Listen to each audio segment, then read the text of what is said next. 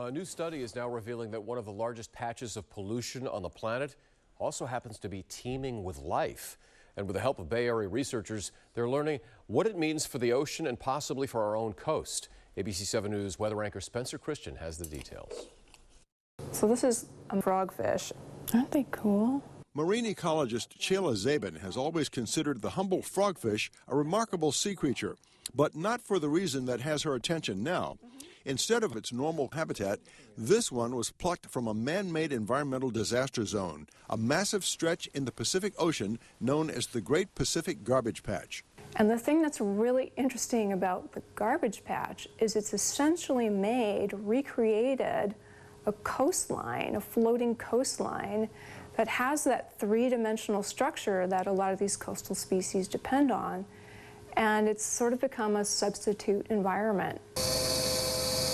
A substitute environment made up of an estimated 80,000 tons of plastic, fishing nets, and trash floating in the Pacific. We got a close-up look last year when the recovery ship Kwai returned to Sausalito with its cargo hold overflowing. You name it, it's in there. Mary Crowley directs Ocean Voyages Institute, which organizes the cleanup missions that have now expanded into an unexpected program of scientific research and providing specimens. We've discovered a tremendous amount on the expeditions. And then, you know, if you look closer, you can see uh, things that are, are growing out there. Yeah, so this is a mussel. Growing and in some cases thriving. Back at the Smithsonian Environmental Research Center in Tiburon, Chela Zabin is helping to identify specimens from what are believed to be at least 46 different species, everything from tiny crustaceans to larger fish.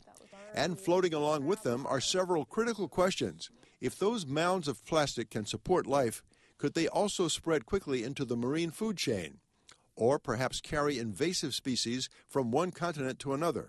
If these coastal species that are only found on one, one side of the Pacific associate and are able to live out their lives and reproduce and perhaps grow in number on this floating garbage patch, they may get close enough to the other side of the Pacific, to our coast.